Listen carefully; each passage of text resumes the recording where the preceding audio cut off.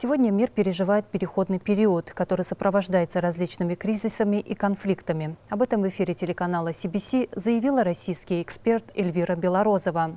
По ее словам, данная тема стала самой обсуждаемой на Всемирном экономическом форуме в Давосе. В настоящее время страны решают многие актуальные вопросы в формате региональных объединений. В качестве примера эксперт привела Организацию тюркских государств. Данная структура в последнее время значительно нарастила авторитет и уже уже демонстрирует свою эффективность. Анализировали социологические опросы того поколения, которое жило, ну, under коммунизм у них это называется, да, под коммунизмом, но это страны бывшего социального лагеря. И вот э, в этой выборке там от 80 до 90, есть страны как 92%, которые отмечают, что все-таки при коммунизме им жилось э, лучше.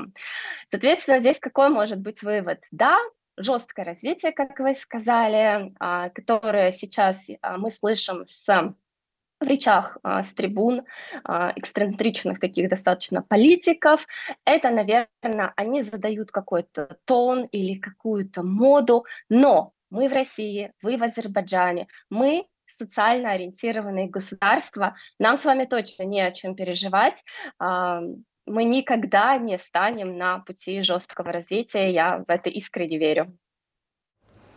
На нынешнем форуме президент Аргентины Хавьер Милей затронул тему свободного рынка, раскритиковал социализм и призвал обратить внимание на результативность капитализма.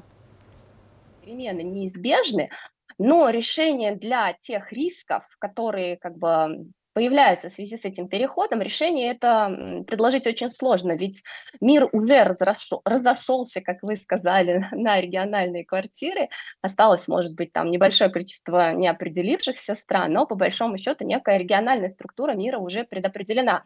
И для регионов это процесс с экономической точки зрения, конечно, эффективный, потому что а, наши региональные интересы будут а, учитываться более справедливо, а если говорить о вашем примере, об организации тюркских государств, то, как мы знаем, это не просто какое-то э, так скажем, новое объединение, да, относительно молодое, нет, там уже принят э, программный проект, э, программный продукт, так скажем, да, стратегия развития, видение развития тюркского мира до 2040 года. Ну, то есть мы можем сказать, что, да, регионы действительно стоят на пути отстаивания своих интересов.